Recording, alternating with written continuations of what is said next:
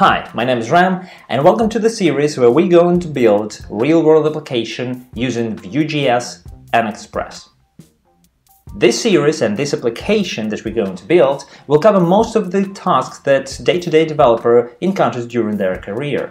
We'll have complex data structures, we'll have authorization and authentication, we'll have communicating with third-party APIs, etc, etc, etc. So what are we going to build? Let me show you.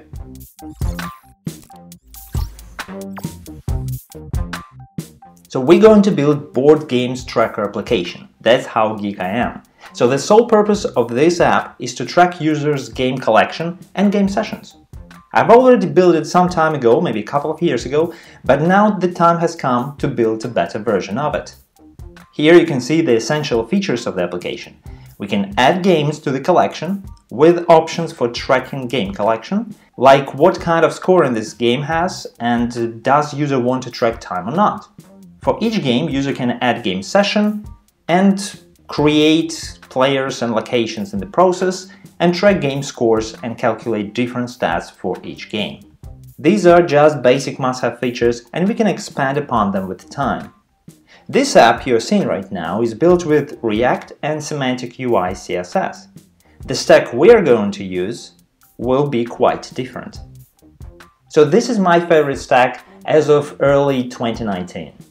On the client we're going to use Vue.js with Vuex, Vue Router, and also we will normalize our state, and you will see during the series how cool is that to have normalized state. So we're gonna use normalizr library for that. On the server side, we're also gonna use JavaScript because we are JS full stackers after all. So we're gonna use Express.js but with a twist. Most of the tutorials out there when using JavaScript, they use MongoDB as the standard. I like my data to be normalized, so that's why I'm gonna use SQL database in this series and that's gonna be PostgreSQL. We're gonna use Knex library and Objection ORM library for this and that's gonna be much fun. So one important disclaimer though, this series is not teaching one. It's not a tutorial, it's not a textbook, it's not a course. It's more like the edited developer's journal.